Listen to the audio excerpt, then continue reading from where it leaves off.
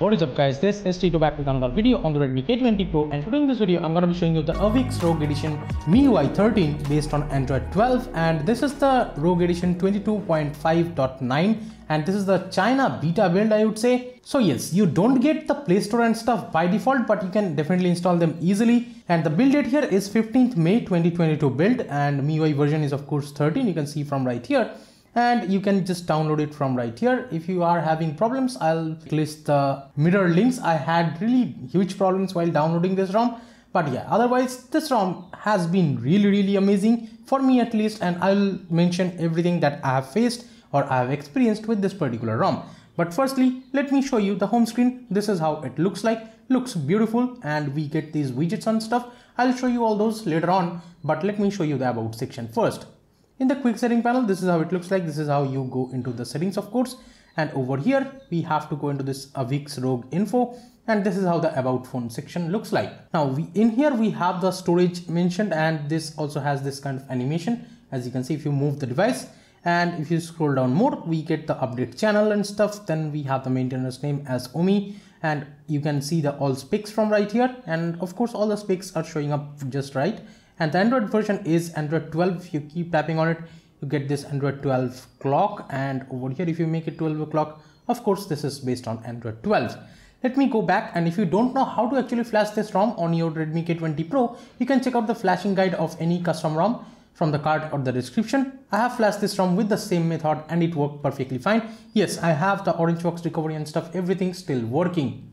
But my storage is of course decrypted and here we have the ROG edition version and the security patch you can see from right there it's first may 2022 i guess and we have the other information let me go back and in here if you go we can see this is based on MIUI 13 of course and you can check for updates from right here and this is based on the nightly build of Redmi K30 Pro I guess. I mean this is a port from Redmi K30 Pro's China MIUI 13 build. Now just notice the animations over here. If I go home this is how you go home. And the animations is just beautiful. Now let's talk about the home screen. Yes this home screen looks pretty similar than how it was but we get these widgets. That's a different thing. And let me actually show you the home screen settings from right here.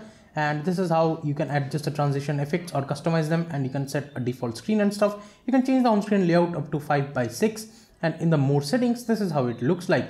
And we have the animation rate the balance and the minimalist and the elegance option and we have the system navigations. Of course you can use the buttons if you want to but i have been using with the full screen gestures. They are working perfectly fine. And we have all these customizations pretty similar to how it was. We have the show memory status and this is how the recent panel looks like by the way. You can see the ram status right there and we have this kind of like quick setting panel. And of course uh, you can actually change it to horizontal quick setting panel if you want to. The floating windows options are there. But for some reason in the normal youtube app the floating window is not working let me tell you that. Now here inside widgets we can of course find the newer widgets. It takes a moment. And we have all these widgets the calendar dates and stuff. The calendar widget is not that helpful. And on this particular area where you see this security weather gallery and stuff if you click all then you will see the normal MIUI widgets. And from here if you click on the Android widgets there you will find the normal like app widgets that you used to get in MIUI of course, I had to add this lock button because this does not have the double tap to sleep anywhere in the home screen. But yes, these new widgets I definitely am liking and this is how the calendar widget looks like. Not very useful for me because calendar widget doesn't look that much good. Here we have this kind of battery widget. This is what I like and you can just click on it to enable the ultra battery saver or something like that or normal battery saver. But this battery widget is really unique. I haven't seen this like something like this before but let me show you. So if I just open this Bluetooth headsets case right here, just notice how it will connect. So yeah, that's the animation I'm talking about. It looks amazing. So if I just close it and we are back to the normal battery icon.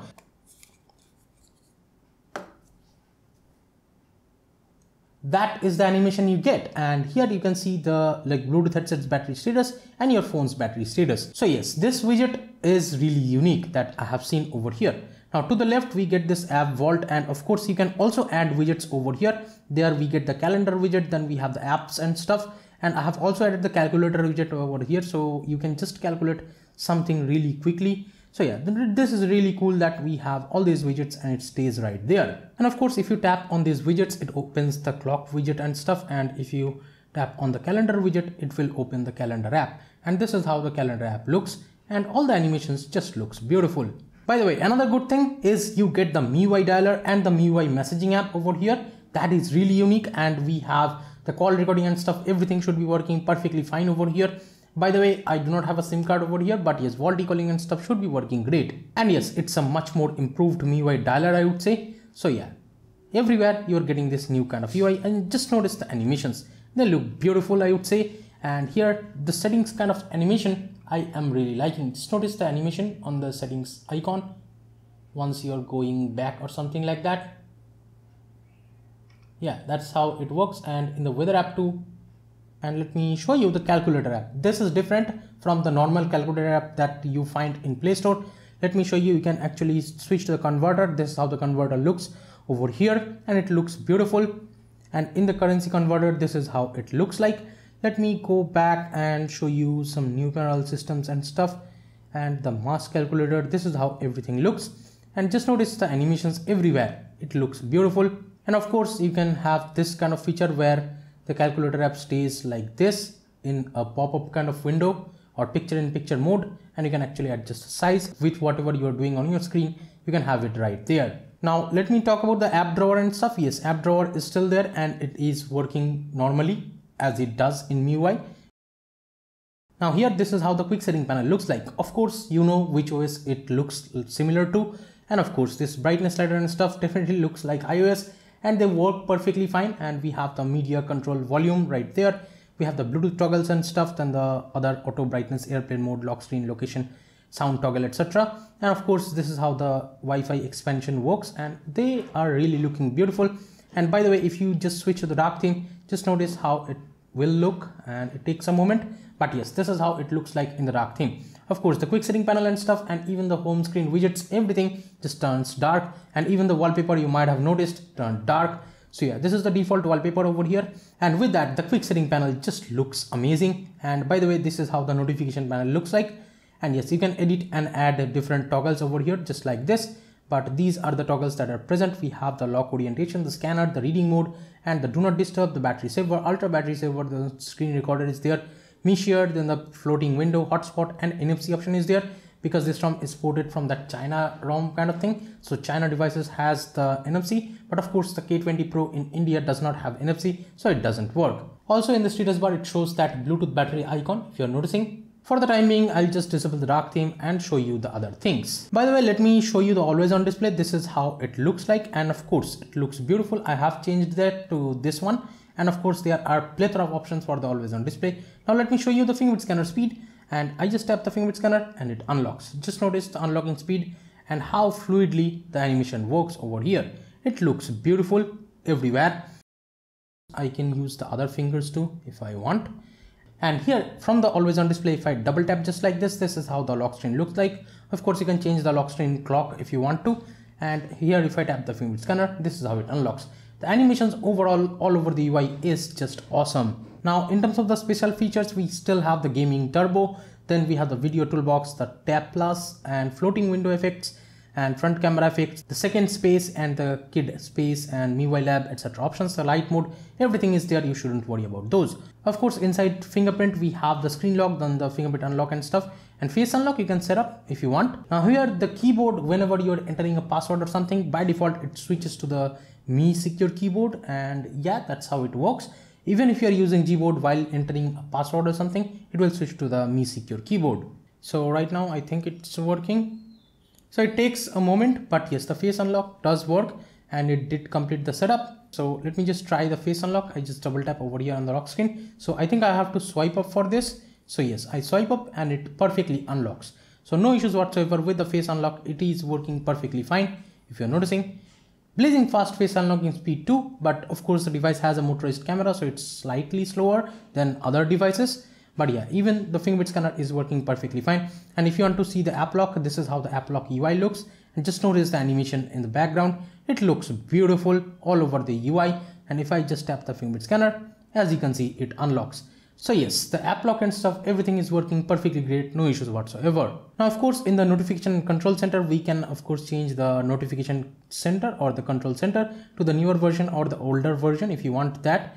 And we have the additional cards option and we have the status bar and stuff. And from here, you can enable the network speed and stuff, normal MIUI stuff and the battery icon you can change from right here and inside wallpapers and stuff we have this kind of all the things you can see from right here. The lock screen the home screen wallpaper the lock screen clock the icons and the always on display. And from here you can actually change the always on display. Let me actually show you. And here these are the newer kind of clocks that you may find over here. And we have the other things. So yeah a lot of clocks that you can see for the always on display that you get. But most of the text and stuff are still in chinese because again this is a china rom in the display settings, we have the light mode and the dark mode and you can schedule the dark mode from here.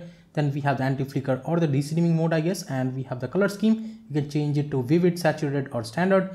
Let me go back. We have the other things like the control center and status bar from right here too. So yeah, this is how the display settings looks. Now let me show you the sound settings. And here in the sound settings, we have the sound assistant. So you can customize all these things. And we have the do not disturb, notify about calls and stuff then we have the profile video for incoming call. So profile video is not supported in india in like indian miui i guess. And here in the additional settings we have all these settings. And let me show you in the sound effects we get the harman kardon certified pro audio. And the sound quality on this particular ROM via the headphone jack and bluetooth was amazing. Even with speakers sound quality is just different on MIUI. And here in this MIUI 13 it's just even better than the official like Indian MIUI I would say. And we have the hi-fi audio option. And if you connect a wired headset of course you get the presets for the like youth edition and stuff headphones. And we have the headphone remote button control and we have the assign buttons. So yeah all these functions will work once you connect or plug in a wired headset. And here in the app settings we have the system apps manage apps and the dual apps. And the app lock is there inside this app settings. Inside more we have all these gesture shortcut and stuff and we have all the take a screenshot and stuff. Let me show you the screenshot options. And here you can take a screenshot by just swiping three fingers. Of course this works perfectly fine. Also you can just press and hold these three fingers just like this to take a partial screenshot.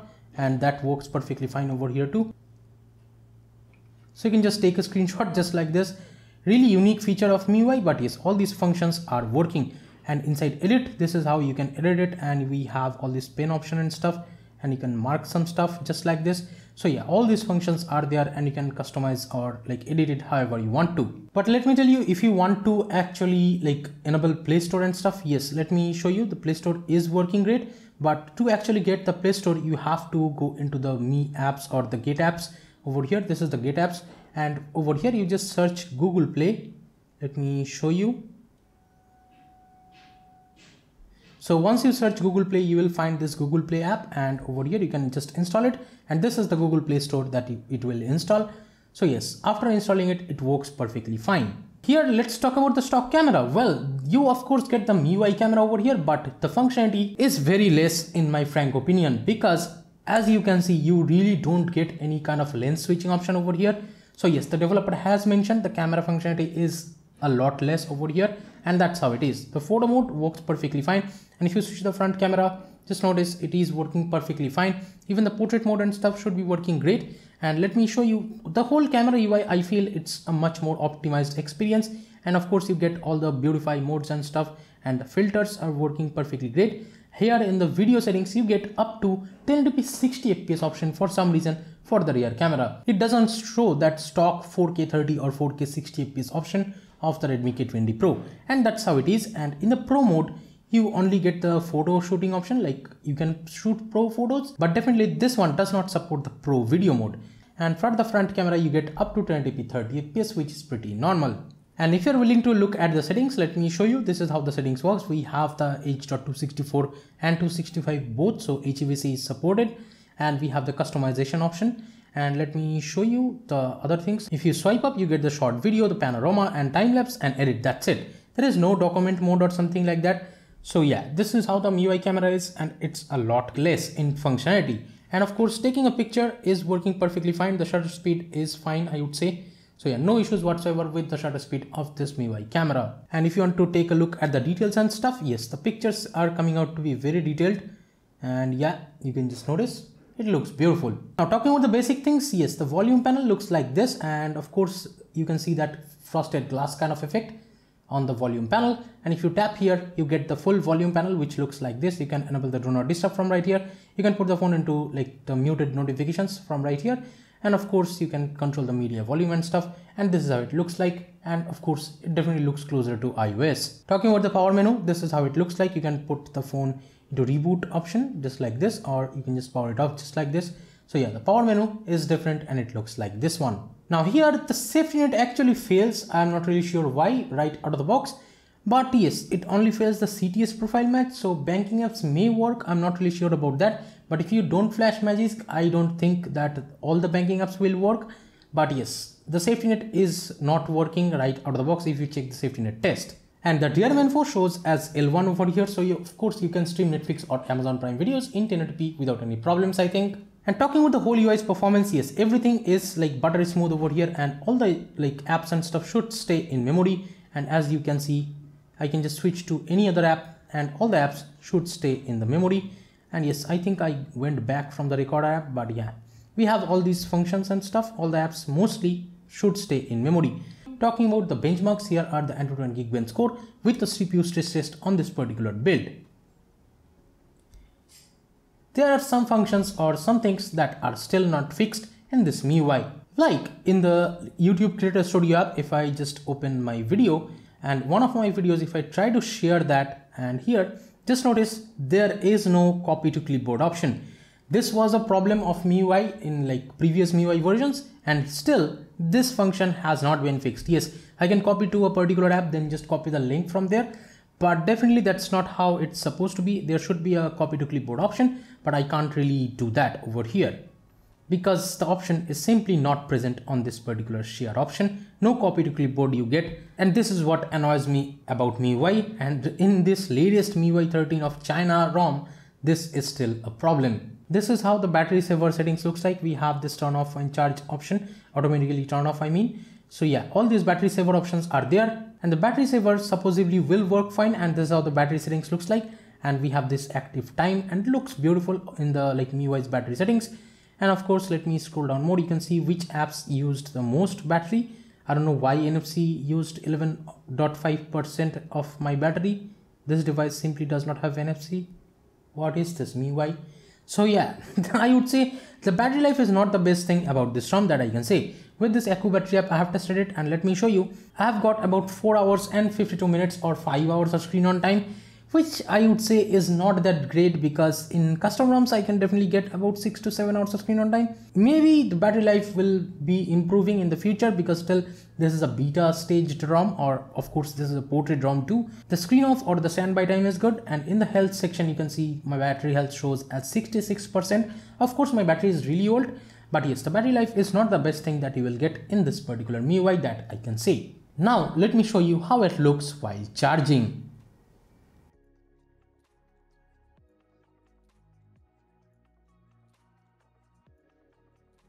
The charging animation is just one of the best things straight up that I can say for this MIUI. But overall the smoothness and overall the optimizations of this ROM is just amazing and everywhere the animations and stuff, the whole UI stays very very smooth and all the things just looks, it has been like optimized really really well I would say. The MIUI is much much more optimized than how it was previously that I can definitely say. So give this video a thumbs up if you liked it, subscribe to the channel if you have not yet. This is Tito from KTN Tech signing off for today. I'll be catching you guys in the next one. Bye bye now.